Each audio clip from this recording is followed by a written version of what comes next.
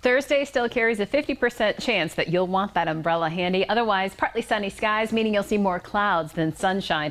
And that won't necessarily make for the world's greatest viewing opportunity for the Perseids, which do peak Thursday night into early morning hours on Friday. But I know you diehards are going to give it a try anyways. You want to look to the northeast shortly after midnight. I suggest getting outside like around 11 o'clock, allowing your eyes to adjust to the dark skies. Give it a good 30 minutes, maybe an hour to do so. And then look for Perseus if you've got one of those apps on your smartphone that helps you find the constellations, you're in really good shape. It will look as though those meteors are emanating from there. Now, as far as the viewing for the early morning hours Friday, partly cloudy to mostly cloudy skies. Honestly, not the greatest. Midnight through 2 a.m., there is a 30% chance for rain. Drops off to 20% chance 4 a.m. through 6 a.m. So that might be a little bit better opportunity and temperatures in the mid to upper 70s during the best viewing.